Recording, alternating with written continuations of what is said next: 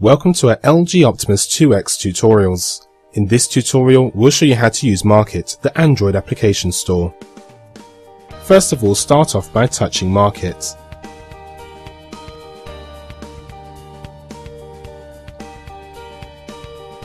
At the top, you can touch Search to find your desired apps.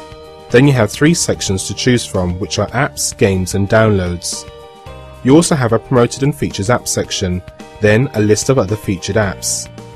By selecting an app, you can review the app description, recent updates and changes, screenshots and developer information.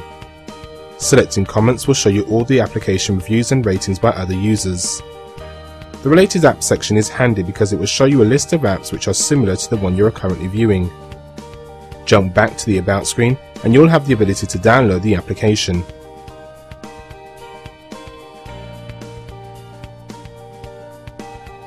This screen will inform you about the access that the application has to your handset's information. Once reviewed and happy, please touch OK to begin downloading and installing your desired app.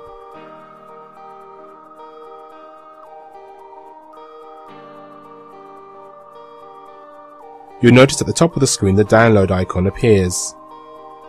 The Android application store is divided into sections and groups to help you find your desired apps quickly and easily. To return back to the start screen, touch the Market logo found at the top left of the screen.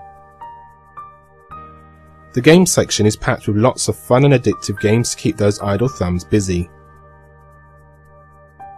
The Downloads section will show you all the downloaded and installed applications.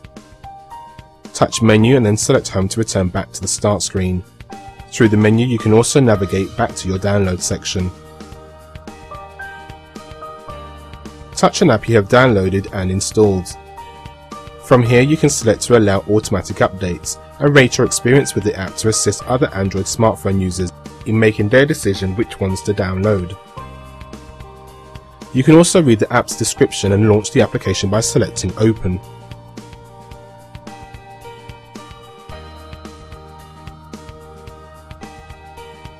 Once you have downloaded your app, it will be placed inside a newly created Downloads section found at the bottom of your application's menu. Apps with the blue end bubble are new and have not been played yet. Touch and hold an app and then drag and drop it onto your home screen. This will enable you to have quick and easy access to your favourite apps in the future. To learn more about home screen shortcuts and widgets, watch our home screen shortcuts tutorial. As we jump back into Market and then select the Download section, we will show you how to quickly uninstall apps. Now touch your desired application. Now touch Uninstall and then touch OK on the pop-up. Now provide your desired reason for uninstalling the app and then select OK. The application is now uninstalled.